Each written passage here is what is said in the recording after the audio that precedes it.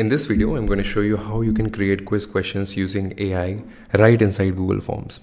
So I have this PDF um, which I want to create quiz questions from for. So for this, I will be using Magic Form application. So you, all you need to do is just visit magic, oops, magicform.app and just hit enter. Once you will visit this website, you just have to scroll down a little bit and you will come to this get started in three simple steps section. There you can see we just have to install the application, open the application, enter the info by slide info. It's supposed to be text information, whatever you want to provide. Here we are providing PDF, um, but they offer variety of options like text, YouTube videos, PDF docs file.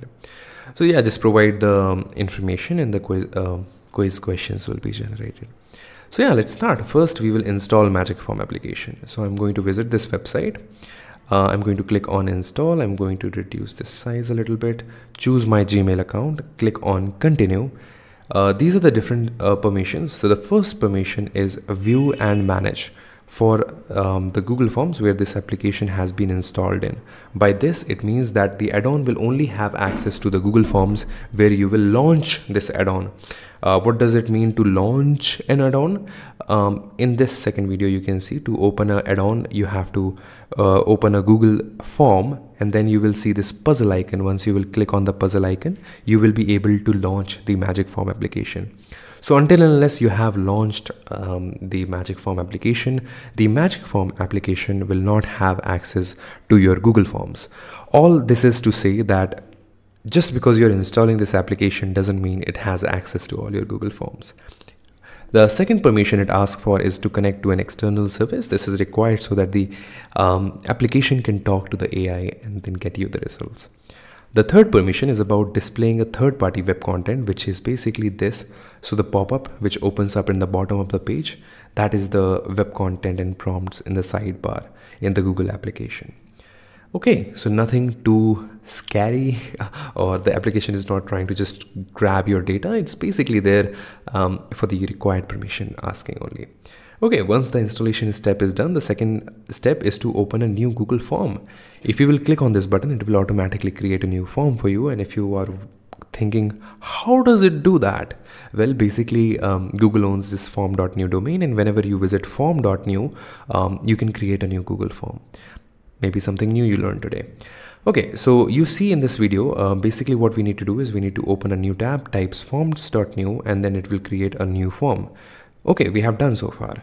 Then if you click on the puzzle icon, you can click on magic form and then you can choose the option you want. So I'm going to click on the puzzle icon. I'm going to click on magic form app and then I'm going to click on PDF option.